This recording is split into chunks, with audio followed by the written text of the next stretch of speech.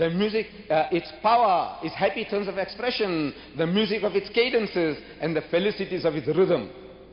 It entered as no other book has into the making of the personal character and the public institutions of the English-speaking peoples. We owe to it, we owe to it an incalculable debt. The English-speaking peoples. The Americans, the Canadians, the British, and people like me who have adopted English as our mother tongue. I speak English better than any other language. It's not as good as Brother Swaggart, but English happens to be my mother tongue because I dream in English and I swear in English. That makes it my mother tongue, according to the psychologists. Now, this is the tribute. If somebody paid such a tribute to the Quran, I can't imagine a Muslim scholar bettering it. Now, prepare for the shock. I said, prepare for the shock. From these 32 scholars of the highest eminence, backed by 50 cooperating denominations, they say, yet the King James Version has grave defects. And that these defects are so many and so serious they are, these are not my words. They are so, they are so many and so serious as to call for revision in the English translation. Calls for revision. in the revised it. And in the revision, the kingpin of the evangelist, the preacher, the hot gospeler, the Bible thumper, John 3.16. No Christian preacher is worth the name if he can't clinch the deal with John 3.16. John 3.16, for God so loved the world, in the authorized King James Version, that he gave his only begotten Son. My brother Swaggart changed the word begotten to unique. This is not from the King James Version. The King James Version says begotten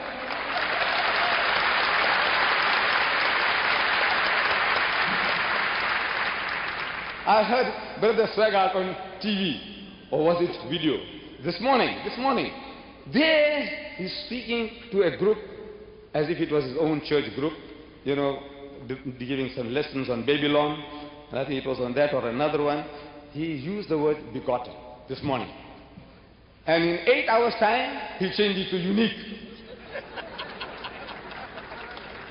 I'm asking, are you ashamed of the word begotten? Are you ashamed of it? That Jesus is the only begotten Son? And Brother Swaggart in one of these 30 books that I had to purchase in South Africa before coming. These are his books. More than 30 I purchased and I went through each and every one of them. I had to. I want to know what my brother is talking about. What, is he, what does he really believe in? Because generally when you speak to a Christian, he, every Christian happens to be unique, absolutely unique. As soon as you corner him somewhere, he says, but I don't believe in that. As soon as you corner him somewhere, say, I don't believe in that. And every one of these thousand million, anyone I meet, he's unique. Everyone is unique. He belongs to the Church, Church of England, but he doesn't, you know, believe in what the Church of England teaches. He belongs to the Roman Catholic Church, but he doesn't really believe what the Roman Catholic Church teaches. Everyone is unique. So I said, now let me see now, what does he say in black and white? And in black and white, I found that he uses this John 3.16, and in his quotation, in his book, he says, begotten Tonight, he says unique. Can you see the reason? The reason is obvious. The Muslims have been taking exception to these terms. In the Holy Quran, we are told, Lam yalid walam yulad. That God Almighty, He does not beget and is not begotten. And there is nothing like unto Him. Walam lahu kufan ahad. Then again, in very strong terms, the Quran condemns this idea that God begot a son because begetting is an animal act. It belongs to the lower animal functions of sex and we are not to attribute such a quality to God. As the Christian says in his catechism, he says, Jesus is the only begotten son, begotten, not made. And I have been asking Christians, please explain what are you really trying to emphasize when you say begotten, not made? What are you really trying to tell me? And believe me, in 40 years, no Englishman with the name has opened his mouth to me to explain to me what this word means, begotten. It had to be an American. It had to be an American. He was on a visit to Durban and he came on a guided tour of the mosque and I happened to be a guide. And discussing, it came up. I said, now, what does it mean? What are you trying to tell me? What, is, what does it mean to say begotten, not made? He said, it means, this American tells me, it means sired by God. I said, what? He said, no, no, no, I don't say that. This is what it means. And believe me, that is what it means. Begotten, not made, means sired by God. Is that what you believe that God did? No, I didn't say that. This is what it means. So the Muslim has taken strong exception to such an expression about God, that God begot a son. It's according to your language, your catechism. The Roman Catholic Catechism, the Anglican Catechism, the Methodist Catechism, the Lutheran Catechism. You accept this. This statement, begotten, not made. So not like Adam. Adam was made by God. Every dog, pig and donkey was made by God. As such, metaphorically, metaphorically, he's the father of everything. But said, no, Jesus is not like that. He's begotten, not made. I said, please explain. And no explanation. So this was something which the Muslims took exception to. And the 32 scholars of the highest eminence, backed by 50 cooperating denominations, they threw it out. Appeased us. Did the Muslims threaten you that, look, if you don't take that word out of the Bible, we won't supply you oil? Did they do that? The Arabs? Did they tell you no oil if you don't take this word out from the Bible? Why did you take it out? Because it was an interpolation. It was not the word of God. The Bible you are carrying, it has this interpolation. And you said this morning, I heard the tape, you said one word. Even one word. It says if it is not supposed to be there and it's there, it says the whole book should be thrown away. Whole book. But it's not only one word. There are chunks and chunks of it. According to your revisers. And Brother Swaggart tells me in one of his books that if you want to know anything factual, knowledge on any subject, you go to the experts.